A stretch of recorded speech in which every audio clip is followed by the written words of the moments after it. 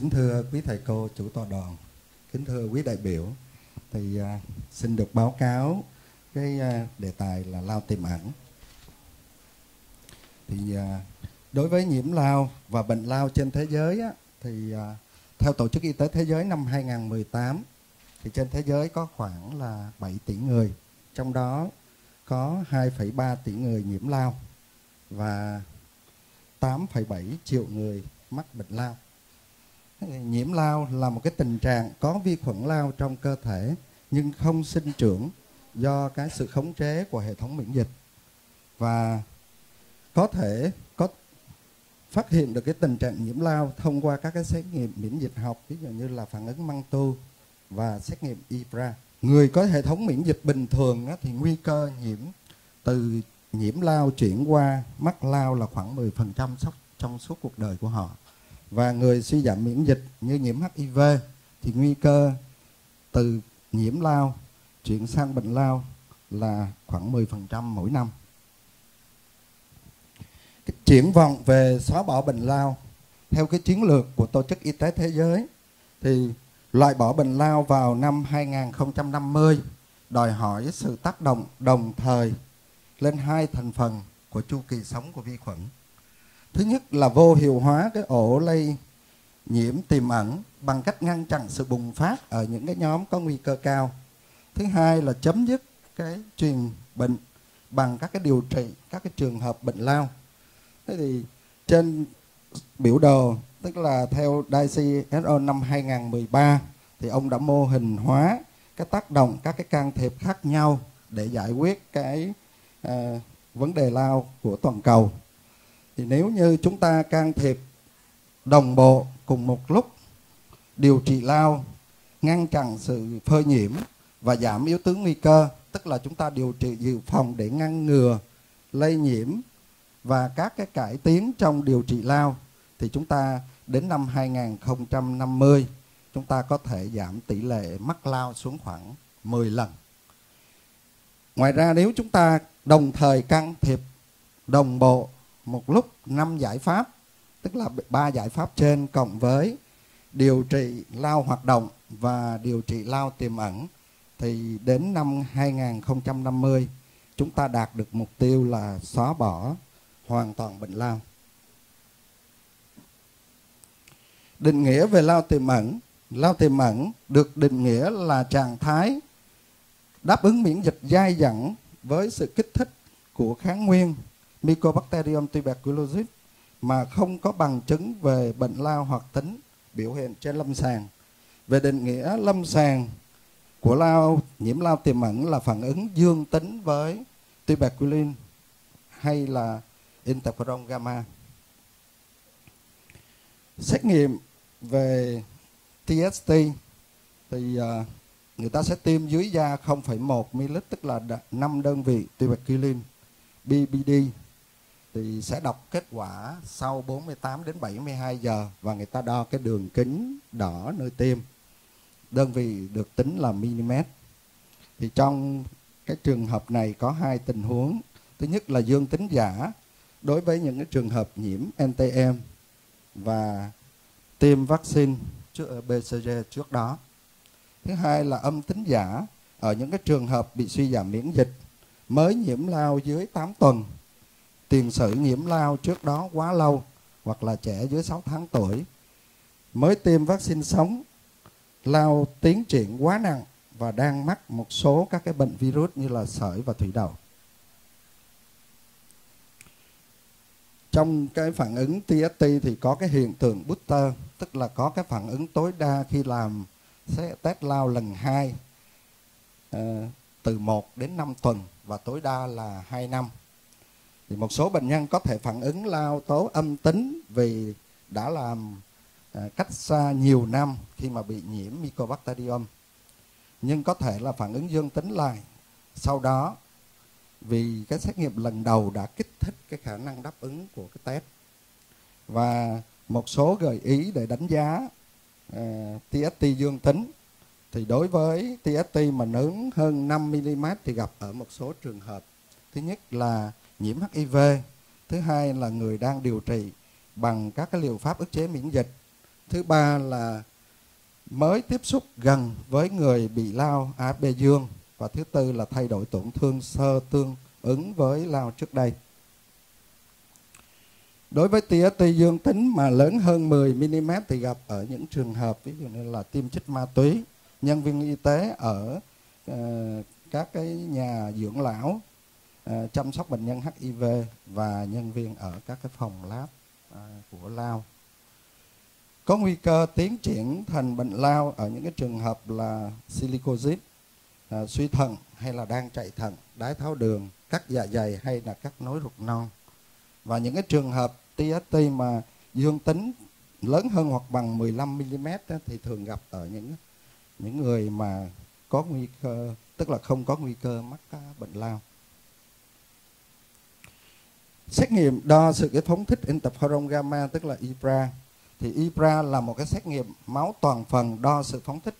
interferon gamma từ các tế bào bạch cầu khi trộn máu của bệnh nhân với các cái kháng nguyên chiết xuất từ vi khuẩn lao ISAT6, CFB10, TB 7.7 và hiện trên thị trường thì có hai loại xét nghiệm IPRA tức là qua quantiferon GIT và TPOT. Thì ưu điểm của Ibra là đặc hiệu với Mycobacterium tuberculosis hơn là TST vì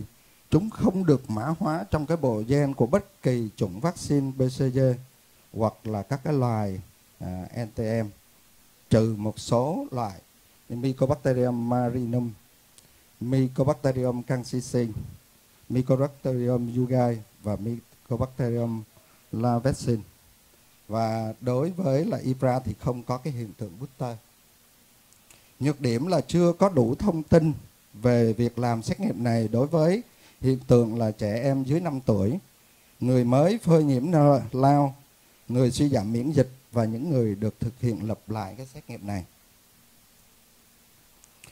Sự khác biệt giữa hai loại xét nghiệm thì đối với xử lý ban đầu của quantiferon là xử lý mẫu máu toàn phần trong vòng 16 giờ. Còn đối với TPOT thì xử lý cái tế bào đơn nhân trong máu ngoại vi trong vòng 8 tiếng hoặc là T cell thì xử lý sử dụng uh, xử lý trong vòng 30 30 giờ. Đối với kháng nguyên à, uh, MT thì quantiferon là một cái hỗn hợp duy nhất gồm các cái peptide tổng hợp có chứa ISAT6, CFB10 và TB 7.7. Còn đối với TPOT thì các cái hỗn hợp riêng biệt có chứa peptide tổng hợp ISAT6 và CFB10. Đo cái nồng độ interferon gamma thì đối với quantiferon tức là đo đo được cái nồng độ của uh, interferon gamma còn đối với uh, xét nghiệm TPOT thì đếm cái số lượng tế bào mà nó tiết ra interferon về kết quả của quantiferon thì là có thể là dương tính âm tính hoặc là không giải thích được còn đối với T-POT thì thì sẽ có các cái kết quả như là dương tính, âm tính, nghi ngờ và không có giá trị. Về so sánh xét nghiệm TST và IPRA thì đối với lại TST thì sẽ tiêm tuberculin dưới da và tạo ra cái phản ứng quá mẫn muộn nếu người đó đã từng nhiễm MT. Còn đối với cái mẫu IRA xét nghiệm IRA thì mẫu máu được thu thập để làm xét nghiệm và xét nghiệm thì đo cái sự đáp ứng miễn dịch đối với lại vi khuẩn lao trong máu toàn phần. TST thì người người bệnh cần phải quay lại 2 đến 3 lần để mà thực hiện xét nghiệm. Còn đối với kết quả à, người mà làm IPRA thì chỉ cần đến một lần là có có kết quả xét nghiệm. Và TST thì được trả lời kết quả sau 48 đến 72 giờ. Còn IPRA thì sẽ trả lời kết quả sau 24 giờ. À, TST có cái hiện tượng là tăng cường còn IFRA thì không có hiện tượng tăng cường và TST thì à, kết quả được đọc bởi bên nhân viên y tế có thể mang tính chất chủ quan và à, ảnh hưởng đến kết quả còn đối với IFRA thì kết quả xét nghiệm không bị ảnh hưởng bởi nhận thức của nhân viên y tế hoặc là tính chủ quan của người đọc. TST thì được à, khi mà tiêm ngừa BCG thì có thể là gây kết quả dương tính giả còn đối với IFRA thì tiêm BCG và nhiễm với hầu hết NTM thì không gây cái ảnh hưởng của cái à, dương tính giả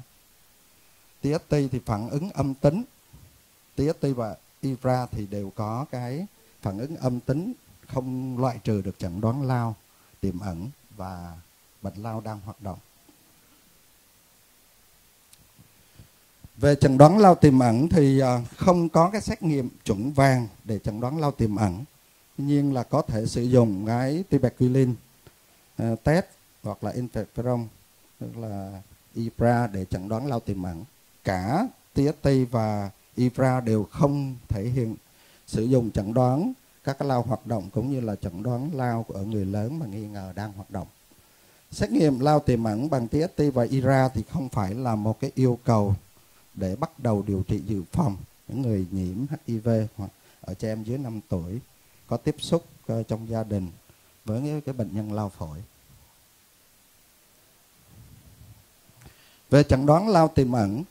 thì so sánh với là nhiễm lao thì đối với lao tiềm ẩn thì không có triệu chứng lâm sàng, còn bệnh lao thì có những cái triệu chứng lâm sàng. À, về à, uh, TST và IRA thì cả lao tiềm ẩn và bệnh lao có thể là dương tính. Về tổn thương x quang thì lao tiềm ẩn là x quang uh, bình thường. Còn đối với bệnh lao thì có tổn thương. Uh, lao tiềm ẩn thì uh, và bệnh lao thì đối với lao tiềm ẩn là soi đàm và cấy đàm thì âm tính. Còn bệnh lao thì à, soi đàm và cấy đàm có thể dương tính. Đối với lao tiềm ẩn thì không lây truyền, còn đối với bệnh lao thì có thể lây truyền. Và lao tiềm ẩn thì điều trị à, theo cái phác đồ hướng dẫn về điều trị lao tiềm ẩn, còn bệnh lao thì đều thể trị theo các cái phác đồ hướng dẫn của lao, bệnh lao tiến triển. Thì đối với lại uh, chỉ định điều trị lao của Bộ Y tế năm 2018 thì có hướng dẫn là tất cả những cái người nhiễm HIV người lớn đã được sàng lọc không mắc bệnh lao thì sẽ điều trị lao tiềm ẩn những trẻ em từ à, uh, 5 tuổi đến 10, trẻ em 5 tuổi và trẻ em từ 0 đến 14 tuổi sống mà bị nhiễm HIV mà sống cùng nhà với những người mà có bệnh lao thì sẽ được chỉ định điều trị lao tiềm ẩn. Chỉ định điều trị lao tiềm ẩn của Tổ chức Y tế Thế giới năm 2018 thì có đối với những cái trường hợp như là bệnh nhân nhiễm HIV dương và trẻ em dưới 5 tuổi có tiếp xúc với người bị lao phổi ở những nơi có tỷ lệ mắc lao cao tức là à, mắc lao hàng năm ước tính là trên 100 à, ca trên 100 ngàn dân. Và những người mà người lớn có tiếp xúc với bệnh lao và các cái nhóm nguy cơ lâm sàng khác mà sống trong vùng có dịch tễ lao thấp tức là có cái tỷ lệ mắc uh, hàng năm uh, ước tính là nhỏ hơn 100 trường hợp trên 100 ngàn dân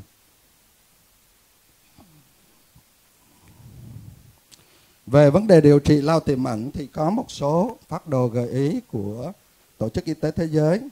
Thứ nhất là phát đồ 3HB, tức là dùng rifabentin cộng với isolazic thời gian là 3 tháng. À, tần suất là một tuần dùng một lần, tổng liều là 12 liều. Thì à, cái phát đồ thứ hai là dùng isolazic từ à, 6 phát đồ hoặc 6 tháng hoặc là 9 tháng, 6 tháng đối với trẻ em và 9 tháng đối với người lớn. Dùng liều là uh, dùng hàng ngày. Tổng liều đối với trẻ em là 180 liều và người lớn là 270 liều. Phát đồ thứ ba là cái phát đồ mà 3 đến 4 tháng RH gồm có là isolazic và rifamycin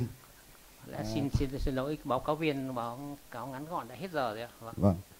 À, thì đối với lại cái phát đồ mà 3HB có hiệu quả à, dung nạp tốt như là 9 INH và tỷ lệ hoàn thành điều trị cao, khả năng dung nạp thuốc tốt hơn và ít gây hại cho gan ở bệnh nhân có lao tiềm ẩn cũng như là lao trẻ em. Phần trình bày của em đến đây là hết. Xin cảm ơn quý vị đại biểu đã chú ý lắng nghe. Ừ.